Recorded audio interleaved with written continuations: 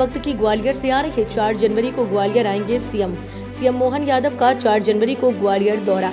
दोपहर तीन बजे ग्वालियर एयरपोर्ट आएँगे सीएम यादव। साढ़े तीन बजे लाल टिपारा न्यू गौशाला का उद्घाटन करेंगे। शाम साढ़े चार बजे ग्वालियर व्यापार मेले का शुभारंभ करेंगे सीएम।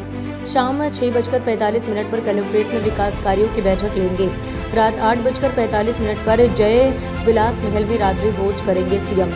रात नौ बजकर पैंतीस मिनट पर ग्वालियर एयरपोर्ट से भोपाल रवाना होंगे सीएम।